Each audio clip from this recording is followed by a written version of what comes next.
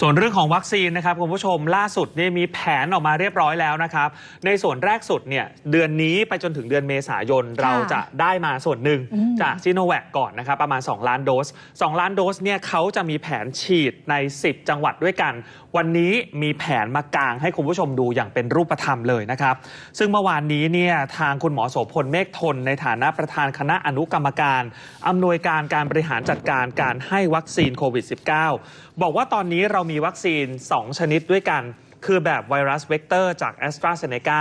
อันนี้เป็นเทคโนโลยีกลางๆ ไม่ได้ใหม่สุด ไม่ได้เก่าสุด แต่มั่นใจเรื่องความปลอดภัยได้ อันที่ 2 คือเทคโนโลยีเก่าเป็นวัคซีนเชื้อตายจากซิโนแวคของจีน อันนี้เนี่ยเป็นเทคโนโลยีที่วัคซีนทั่วๆไปเขาใช้กันมานานแล้ว เพราะฉะนั้นมั่นใจเรื่องความปลอดภัยได้เลย แต่อย่างไรก็ตามเนี่ยวัคซีนทั้ง 2 แบบหรือจะแบบไหนก็ตามในโลก เวลาฉีดเสร็จมันก็อาจจะมีอาการไม่พึงประสงค์เฉพาะที่เกิดขึ้นได้ ซึ่งไม่ได้อันตราย เช่น ปวดบวมแดงร้อนเป็นเรื่องปกติไม่มีผลรุนแรง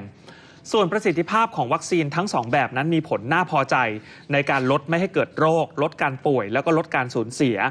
เริ่มมีข้อมูลจากต่างประเทศที่ฉีดวัคซีนทั้ง 2 ชนิดนี้มากขึ้น ทั้งเรื่องของการลดการแพร่โรคที่มีแนวโน้มไปในทางที่ดี บางประเทศก็ระบุว่าวัคซีนจากแอสตราเซเนกาสามารถลดการแพร่โรคได้ถึงร้อยละ 50-60ถึง60ส่วนนโยบายการให้วัคซีนก็คือทุกคนในประเทศไทยนั่นคือรวมถึงชาวต่างด้าวด้วยนะครับ ตามเป้าหมายของวัคซีนจะแบ่งเป็นอย่างนี้ครับ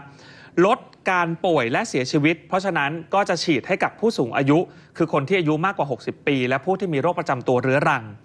ป้องกันระบบสุขภาพของประเทศ เพราะฉะนั้นก็จะฉีดให้กับบุคลากรสาธารณสุขทั้งภาครัฐและเอกชน เจ้าหน้าที่ที่มีโอกาสสัมผัส ผู้ติดเชื้อรวมถึงฝ่ายความมั่นคง อสม ด้วย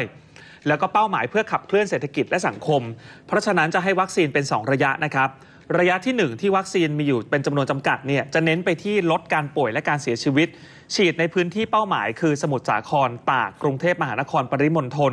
ในกลุ่มบุคลากรสาธารณสุข เจ้าหน้าที่ด่านหน้า และผู้มีโรคประจำตัว อันได้แก่โรคทางเดินหายใจเรื้อรัง โรคหัวใจ โรคหลอดเลือด ไตวายเรื้อรัง มะเร็งเบาหวาน ผู้ที่มีดัชนีมวลกายมากกว่า 35 กิโลกรัมต่อตารางเมตร หรือคนที่มีน้ำหนักมากกว่า 100 กิโลกรัมขึ้นไป แล้วก็ผู้สูงอายุคือผู้ที่มีอายุ 60 ปีขึ้นไป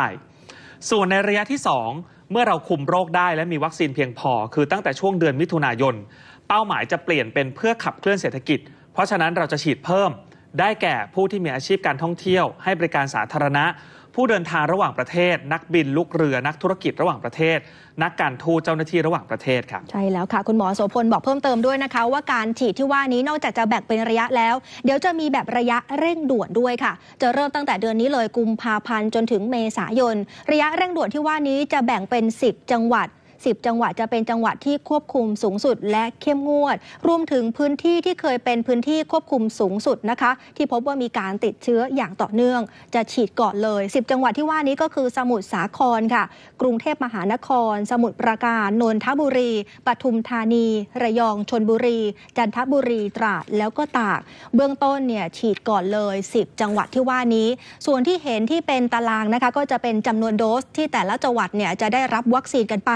รวมถึงก็จะแบ่งเป็นประเภท ก็คือได้ไปแล้วฉีดให้กับใครบ้าง แน่นอนละค่ะด่านแรกก็คือต้องเป็นบุคลากรทางการแพทย์ ถัดมาก็จะเป็นเจ้าหน้าที่ที่มีโอกาสสัมผัสกับผู้ป่วยระดับสูงนะคะ แล้วก็จะเป็นคนที่มีโรคประจำตัว รวมถึงคนที่มีอายุตั้งแต่ 60 ปีขึ้นไปด้วย แบ่งแยกกันแบบนี้เลย นี่ต้องบอกว่าเป็นแผนที่ชัดเจนที่สุดเลยนะคะครับตั้งแต่ที่เริ่มมีมา เพราะว่าตอนนี้เองวัคซีนก็ใกล้จะมาถึงประเทศไทยแล้วอืมก็ต้องแบ่งกันไปว่า 10 จังหวัดที่ว่านี้ถือว่ามีความเสี่ยงสูง ถ้าเกิดว่าฉีดก่อนระงับได้ก่อนก็ควบคุมครับเรื่องของการแพร่ระบาดได้ด้วยค่ะอืมส่วนจำนวนโดสของแต่ละจังหวัดเนี่ยนะครับ สมุทรสาครมากที่สุดเลยได้ไป 8 2 0 0 0 0 โดส กรุงเทพมหานคร8 0 0 0 0 0 โดส จังหวัดตาก 1 6 0 0 0 0 โดส จังหวัดสมุทรปราการและชนบุรีจังหวัดละ 28,000 โดส นนทบุรีปทุมธานีจังหวัดละ 26,000 โดส ระยอง 18,000 โดส จันทบุรี 16,000 โดสนะครับ แล้วก็ตราด 12,000 โดสครับ รวมทั้งหมดก็จะเป็น 1 9 3 4 0 0 0 โดส ก็จะเป็นจำนวนคน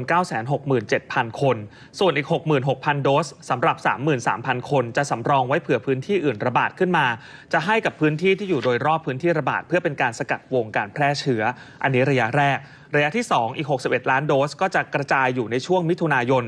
ทั้งหมดจะฉีดให้แล้วเสร็จภายในปีนี้นี่แหละนะครับ อัตราการฉีดก็จะอยู่ที่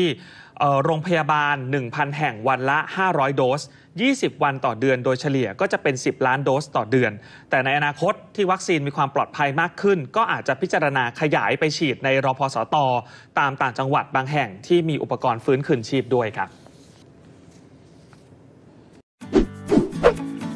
ติดตามและกดกระดิ่งแจ้งเตือนจะได้ไม่พลาดคลิปใหม่ๆ จากดิว18 กันนะคะ